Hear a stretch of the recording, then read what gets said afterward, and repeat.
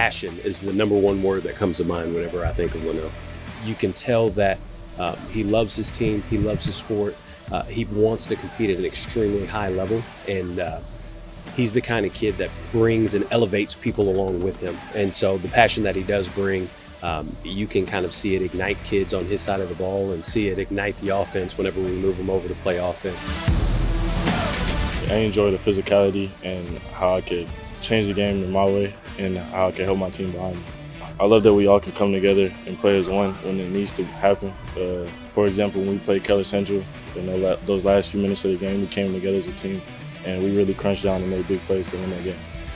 He's one of those that in the weight room, on the practice field, it doesn't matter. He's going to go as hard as he can all the time. He's one of those that you just love to coach. My grandmother, she works very hard to keep me and my sister healthy and financially stable. So I, uh, she's always been my rock.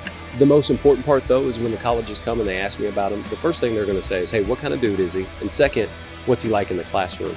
I don't have to lie. I mean, he is he's A1 in the classroom. He makes all A's. He does a really good job. He's a leader in there. So um, he makes it easy to sell him to colleges. I plan on going to a four-year college and playing college football and majoring in fire science or going into the medical field and becoming an EMT.